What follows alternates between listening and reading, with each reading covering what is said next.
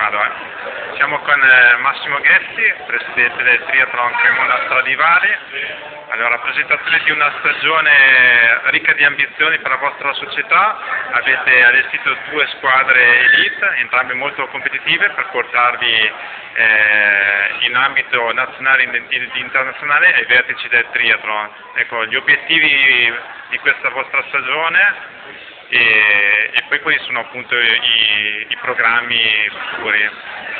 Sì, eh, intanto gli obiettivi per il 2009 sono sicuramente le gare più importanti del panorama nazionale che è Bardolino e tutti i campionati italiani. E per andare all'estero sicuramente ci sarà l'Ironman di Francia che siamo già detentori del titolo della vittoria dell'anno scorso e le gare anche di Coppa del Mondo dove sarà il nostro atleta Vladimir Policarpenko.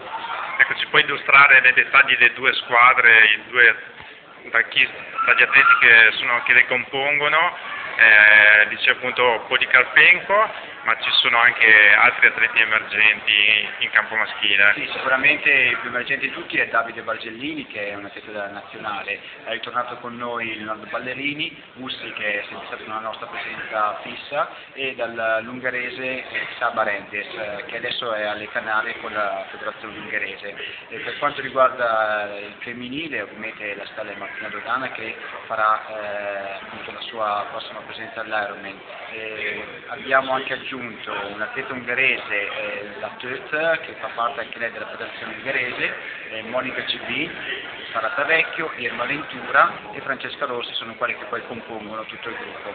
Ecco, eh, invece dal punto di vista societario eh, la vostra società in questi ultimi anni si sta distinguendo a livello nazionale con due battute appunto sul, sul vostro lavoro. Eh.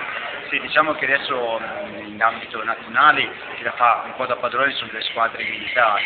Eh, noi forse siamo una delle squadre civili più forti, che riusciamo un attimo anche a autogestirci. Eh, quindi la, Cremona cercherà appunto di sovrastare le squadre militari, ma soprattutto di andare anche all'estero a fare delle competizioni.